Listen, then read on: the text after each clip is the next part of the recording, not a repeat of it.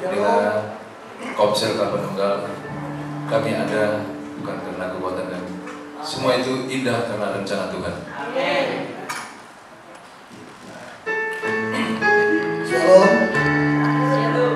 Kami akan memberikan satu kesaksian yang terjadi pada diri saya di mana 2017 penuh dengan sukacita yang di mana kami alami dari pra-awal Januari 2017. Kondisi saya khususnya pribadi saya nama Ferry di mana dihantam badai cobaan 2017 awal tahun 2017 saya buka pabrik gula Gula saya dari 200 melonjak melambung sampai 600 mendekati ke 700. Puji Tuhan, rencana Tuhan indah ini buat saya. Tapi kami percaya, proses saya ini gula-gula murni. Nah, bukan karena campur tangan dari unsur manusia, tapi karena Tuhan campur tangan untuk saya. Ini cobaan buat saya di 2017. Lambat laun harga gula mulai turun, stabil.